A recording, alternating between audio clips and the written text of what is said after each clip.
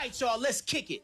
Do you think the world is ready for a biopic about Vanilla Ice? Hell yeah! Oh yes. Well, one person who definitely is here for it is Dave Franco, the younger brother of James Franco. Mm. He's going to be playing Robert Van Winkle in the movie, which will be called To the here Extreme.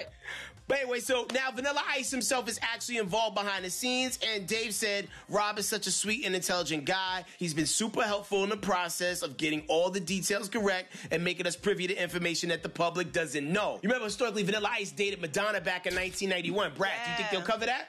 I hope they cover that. We want to hear all the juicy mm. details. Yeah. This is what makes his story For interesting. sure. I think that Megan Fox or Carmen Electra or Dakota Fanning could play Madonna. Um, We cannot leave out the fact that when Suge hung him from a balcony, Suge Yes. Knight upside That down gotta by be in there. Yes. What? Suge hung Vanilla Ice? Yes. Absolutely by his feet, darling. Mm-hmm. What about Madonna's oldest daughter, Lourdes? Lourdes looks Yeah, exactly Lourdes- like now, her. Lourdes- I Lourdes don't would be she amazing act, playing though. her mom. Yeah. She looks just like So- her, but we don't know if she can act. She'd have to audition, ladies. She don't gotta say much. She just needs to be sexy.